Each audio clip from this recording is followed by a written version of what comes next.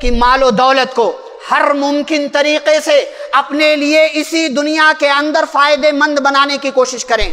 इसलिए कि ये माल दुनिया में रह जाएगा और आप दुनिया से चले जाएँगे। प्यारे नबी सल्लल्लाहु अलैहि वसल्लम फरमाते हैं, सही मुस्लिम की हदीस है, बंदा कहता, मेरा माल मेरा माल वह इन माल हो माली ही तलाश उसके माल में से सिर्फ़ तीन टाइप का माल उसका है।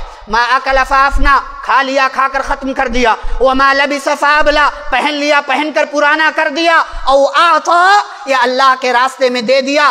फ़क्तना तो अल्लाह उसको स्टोर करके रख लेता है, जमा करके रख लेता है। वह मासीवा दाली का फहुआ वह चारी को हो लिन्नास।